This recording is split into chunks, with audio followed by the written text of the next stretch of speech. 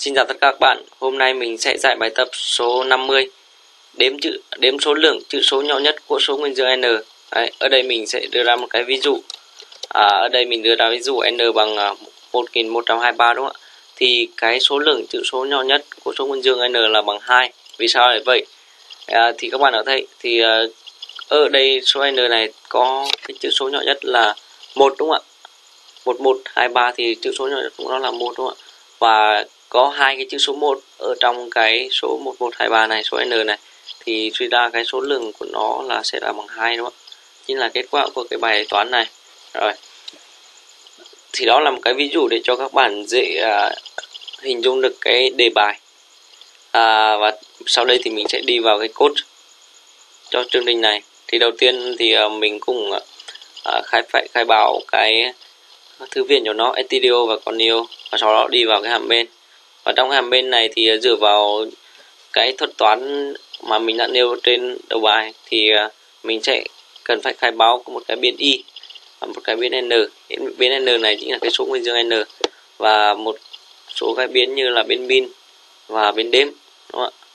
Min đây chính là cái giá trị à, khởi tạo cho nó là cái giá trị nhỏ nhất và đếm là cái à, giá trị đếm xem thử có bao nhiêu cái số chữ số nhỏ nhất ở trong cái số n này đúng không ạ?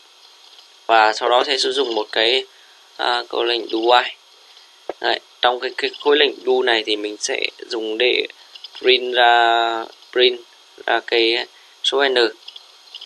Print ra câu lệnh nhập n và sau đó sẽ nhập dự cái giá trị của n từ bàn phím ra màn hình đúng không ạ?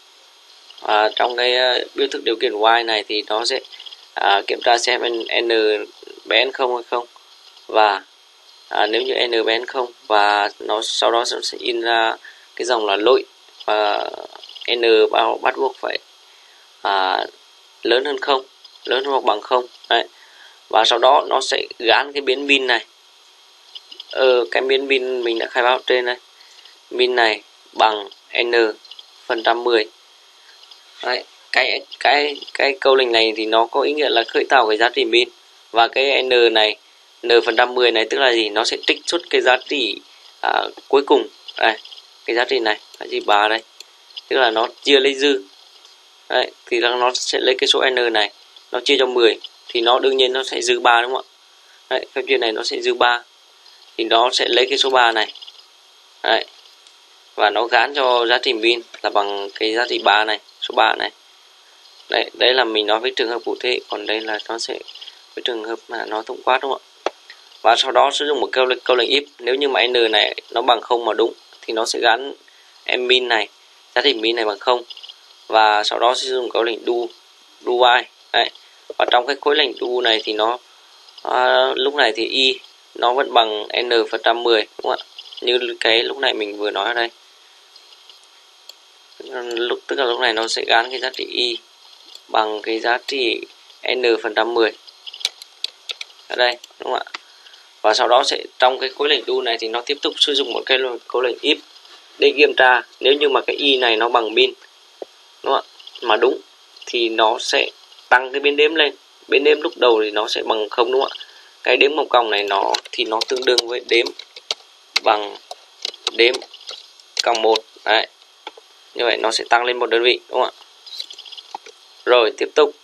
Nó tiếp tục kiểm tra nếu như mà cái y này nó bé min thì min là bằng y đúng không ạ?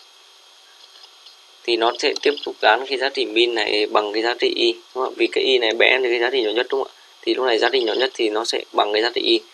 Và nó sẽ kiểm tra điều kiện là n này. À, và nó sẽ làm công việc đó trong khi mà n này bằng n chia 10 đúng không n chia 10 tức là nó sẽ tiếp tục lấy cái phần số 2 đây Đấy, sau khi lấy số 3 thì nó sẽ tiếp tục lấy cái số 2 này bằng cách uh, làm cái công việc n bằng uh, n chia 10 ở đây đường này